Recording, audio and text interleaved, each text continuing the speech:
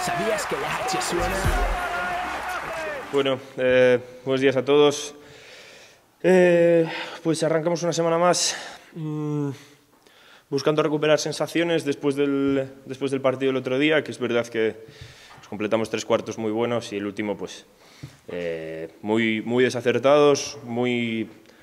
eh, muy débiles mentalmente y bueno, pues al final eh, cosechamos otra derrota que, que, nos hace daño, evidentemente, porque, pues, como dije aquí la última vez, queríamos buscar sensaciones y las encontramos, pero al final no tuvimos el premio, porque el último cuarto ha sido muy malo, un 8-26, que,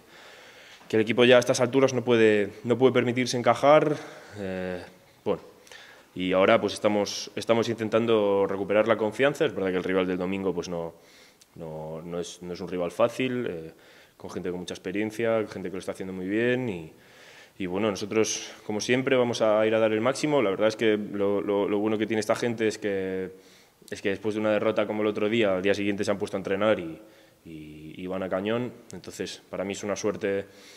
poder, poder contar con, el, con un grupo de jugadores así y, evidentemente, pues buscando que, que luego el fin de semana pues tengamos un premio diferente al que estamos teniendo últimamente. Y bueno, después de la primera vuelta que hemos hecho, creo que el equipo se lo merece seguir cosechando victorias y seguir pues teniendo ese premio el fin de semana, porque realmente pues eh,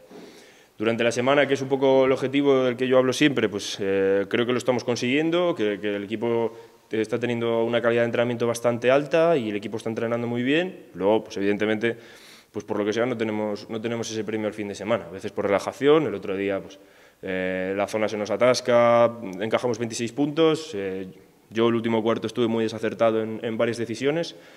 y, y, entonces, bueno, pues un poco en, entre todos eh, curarnos, recuperar las sensaciones que nos han llevado a, a hacer una primera vuelta magnífica y,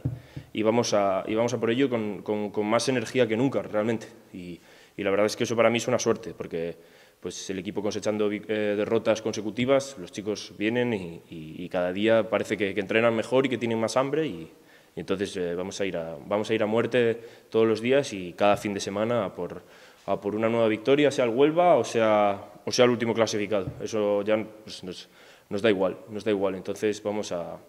a, a, por ello. Es verdad que a Sagrado Corazón y a Ciudad de Huelva, que, que son dos equipos que están arriba, les pusimos las cosas muy complicadas. A, Sagrado eh, perdemos en el último segundo, contra Huelva a falta de dos minutos íbamos empatados y, eso es un poco lo que, lo que queremos, seguir compitiendo en nuestra casa y, y a partir de ahí, pues, pues si, si nos cae una, una victoria porque completamos 40 minutos eh, a, a, buen nivel, pues, pues sería fantástico. ¿Alguna pregunta? Yo te preguntar cómo ves el rival de, del domingo.